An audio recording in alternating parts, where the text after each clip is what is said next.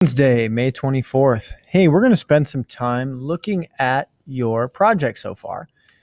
And much like when you want some of your work proofread, it often pays off to have someone else look at it.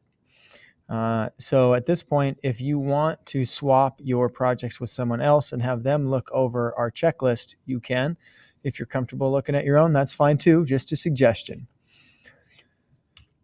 So with number 58, we're going to go to Classroom. We're going to open up the document for 58, and we're going to go through all 12 of the items one by one by one by one to ensure that you're giving me more than just a pretty picture. Uh, so often, the biggest mistake is we get excited, we like art, so we we design an ecosystem and we draw pretty pictures, and we're proud of our work.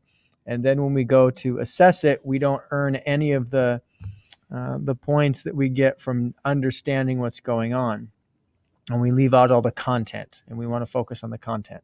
So that's our plan for the day. Look over those 12 things in 58 and uh, you get the rest of the week. So continue doing what you're doing. Things are going well and we'll be excited to see what you get by next Tuesday.